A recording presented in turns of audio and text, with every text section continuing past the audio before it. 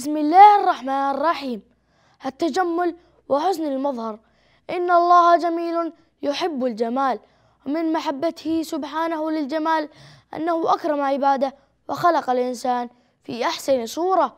وأنزل على عباده ثيابا تجمل ظواهرهم وأمرهم بالتقوى التي تجمل بواطنهم. قال تعالى يا بني آدم قد أنزلنا عليكم لباسا يواري سوآتكم وريشا ولباس التقوى. ذلك خير.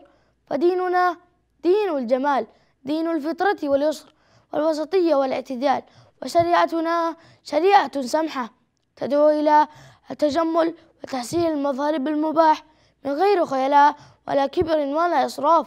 قال تعالى وثيابك فطهر وقال وأن كنتم جنبا فطهروا وقال يا بني آدم خذوا زينتكم من عند كل مسجد وفي الحديث حق لله على كل مسلم أن يغتسل في كل سبعة أيام يغسل رأسه وجسده متفق عليه.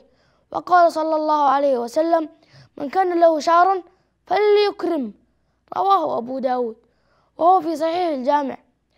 ويقول أنس بن مالك رضي الله عنه ما شمت عنبرا قط ولا مسكا ولا شيئا أطيب من ريح رسول الله صلى الله عليه وسلم رواه مسلم.